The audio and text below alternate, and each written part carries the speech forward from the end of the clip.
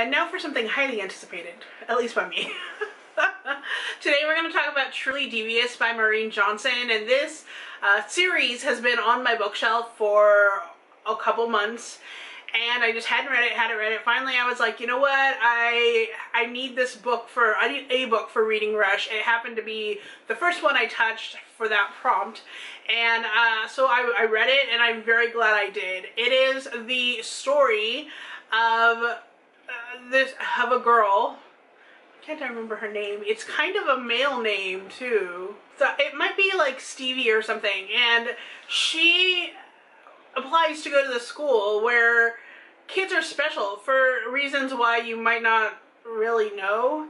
Um, there are a lot of characters in this book whose specialness I don't really know. Some of them like are specialized in science, and some of them are specialized in like crafting or art or whatever. But her specialty is uh, detective work.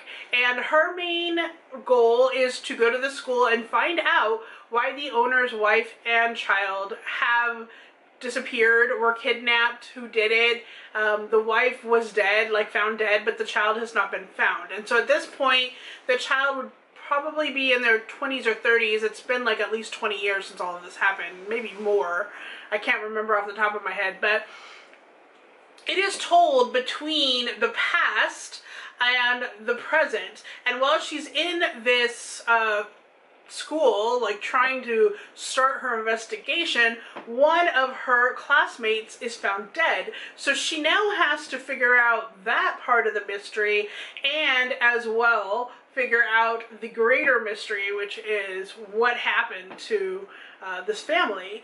And it, it is just, it was a really good community representation of school life and yet also like a mystery thriller, young adult, very, very fun.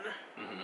Sounds kind of like a Veronica Mars, but like with a more specialized school. Right, yes, exactly. That's pretty much what it is. It's very like also Harry Potter-esque in that they all they're not like sorted, but they're all like living in different houses on the grounds of this estate. And I think it's like five or six kids per house. So there's really that community element where this is your house, this is your community of people that you stick around with basically. So there is that as well. A couple things I liked about this book was really, like I said, the camaraderie, but also just the way it's written, like the way it gives you little clues to things. There is something that happens at the end of this book that I didn't totally see coming and I probably should have. I probably put a should have put some pieces together, but I didn't. And so when I when I read it, I was like, oh, well, that's going to take us in a whole new direction for book two, which I'm reading this month. So, I mean, I'm I'm excited for it. I I did give it five stars. I thought it was one of like. And I'm uh, excited to read it. Yeah, because I'm going to be reading it this month. He is. So. Definitely pick it up if you like young adult and you like mysteries. I think you'll probably like this.